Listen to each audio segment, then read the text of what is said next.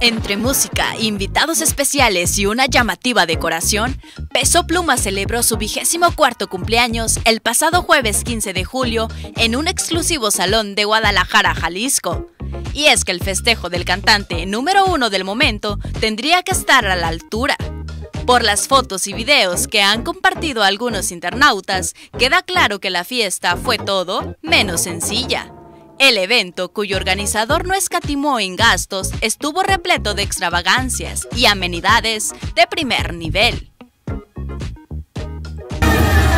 Rápido pasa una camioneta. Rápido la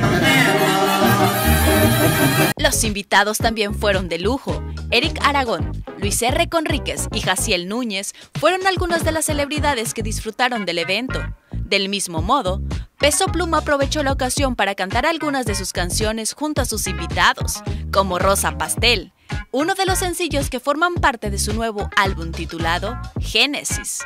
Sin embargo, un accidente surgió también en esa noche de celebración, pues un niño de aproximadamente 10 años que intentaba ver la exclusiva fiesta desde la azotea de su casa tuvo un terrible accidente. Desafortunadamente, el pequeño cayó desde el techo a varios metros de altura, por lo que tuvo que ser llevado de emergencia a un hospital.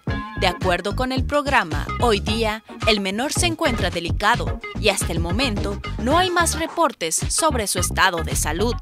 Recordemos que esta no es la primera vez que el nombre de Peso Pluma se vio implicado con un menor por su fama gracias a sus corridos tumbados, pues hace unos meses se reportó que un niño de 11 años se habría quitado la vida luego de que le prohibieran escuchar las canciones del intérprete.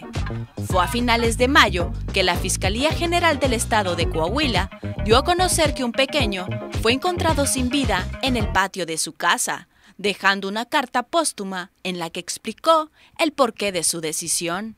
En el mensaje expresó descontento por no poder escuchar la música de su ídolo, Peso Pluma.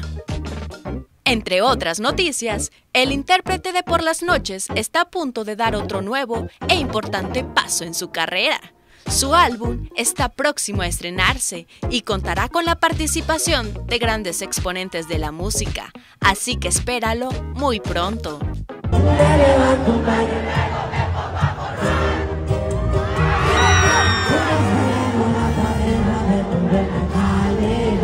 Soy Angélica Bautista y recuerda, si no está en Sapstrupero, seguro no ha sucedido.